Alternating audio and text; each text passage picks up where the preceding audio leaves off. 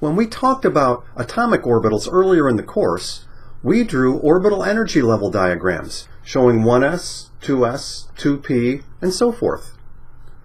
We can do the same for the energy levels of molecular orbitals.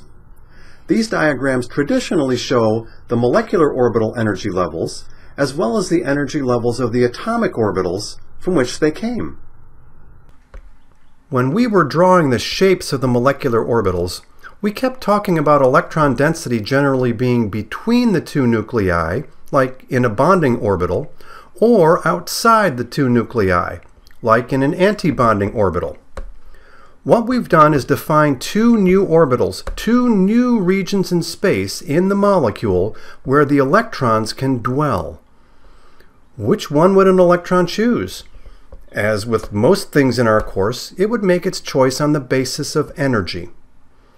Because the electron density is between the nuclei in the bonding orbital, the nuclei are attracted toward the center.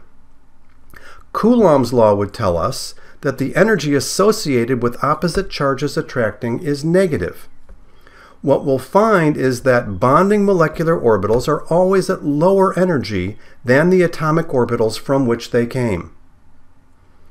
Because the electron density is primarily outside the nuclei in the anti-bonding orbital, and the nuclei are exposed to each other, the nuclei want to repel.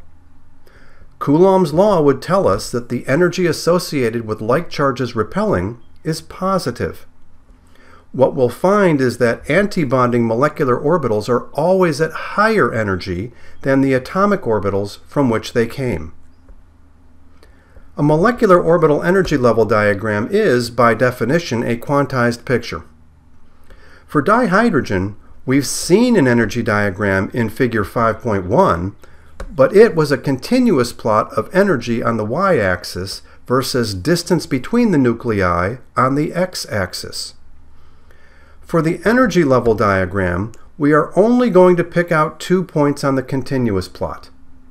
Zero energy, where the two atomic orbitals are far enough apart to give no interaction, and at the bottom of the curve, where you have the best interaction in the molecule.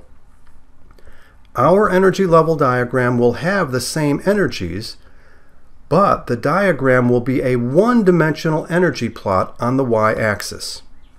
Traditionally, the atomic orbitals of atom number 1 are shown on the left, the atomic orbitals of atom number 2 are shown on the right, and the molecular orbitals of the molecule are shown in the middle. In the energy level diagram, the x-axis has no meaning and has no numbers associated with it.